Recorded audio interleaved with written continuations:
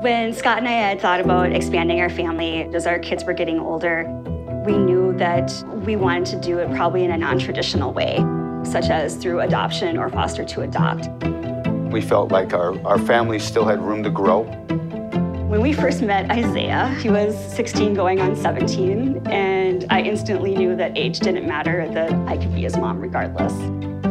I just kind of knew like this is this is where I was meant to be.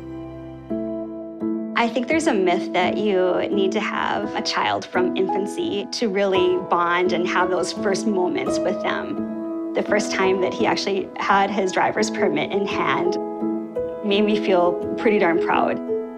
I always teach my kids to drive with a manual. That always makes for interesting moments. I took the wrong turn up a hill and then I didn't know what to do. So we started kind of rolling back down. Going backwards back into traffic. I'm in the passenger seat going, oh, this isn't very good. And he was super calm, like even though we were in some serious danger. Isaiah's first Thanksgiving with us. We do what's called the turkey trot here in Duluth. It is a 5K on Thanksgiving morning. Isaiah, he told us that he was a runner. And we're like, perfect, let's go do this. We run in teams. The losing team wears the stuffed turkey hats the next year. Within the first couple seconds, he was gone. He pretty much finished in the top 40 out of about 3,000 people. I won't lose to them, hopefully.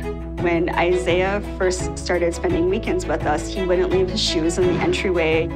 He kept on doing that for several months after he moved in. And I remember coming home one night, and I opened up the door, and there were these big tennis shoes sitting right in the entryway. And that's when I knew that Isaiah felt like he was home. And that was a pretty cool feeling. When Isaiah got accepted into college and he was able to participate in athletics there, it was the proudest I think I've ever seen him. It was awesome running my first college race. It was just kind of special to see all, everyone there. I really like my family comes with me. It's like I just, I, I love it. It's fun to watch them compete.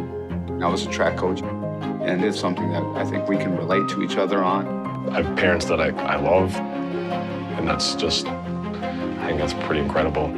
I only have one mom mode. It's not any different for Isaiah than it is for, for Ashley or Devin. There's definitely nothing perfect about me as a father, um, but I enjoy every day of it. I've had the privilege of holding two beautiful babies in my arms, and I've also had the privilege of Isaiah looking us straight in the eyes and saying, I want to join your family. And I can tell you that feeling is exactly the same. It is pure love.